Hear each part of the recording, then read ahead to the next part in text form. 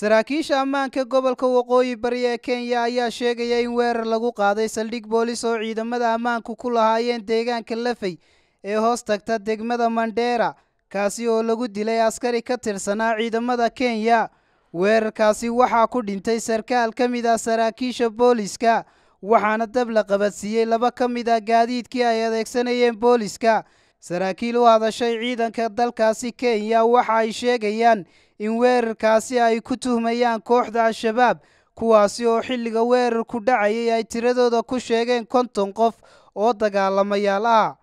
ciidanku waxay intaasi ku dareen in gaadhi kale oo kuwa booliiska ah ay qaateen kooxda weerartay saldhigga booliiska deegaanka lafey ulana baxsadeen dhanka iyo xadka soomaaliya. Sidoo kale saraakiishu waxay xuseen in labiyo toban askari ay joogeen saldhigga booliiska ah weerarka lagu soo qaaday islamarkaasina ay intooda badan baxsadeen askartaasi. Halka askari ka mid a askartii saraakiishu waxay intaasi ku dareen in labiyo toban askari ay joogeen saldhigga booliiska islamarkaasina intooda badan ay ka baxsadeen halka mid ka mid a saraakiisha boolisku uu ku dhintay goobtaasi. Cali wacay saab t v hargeysa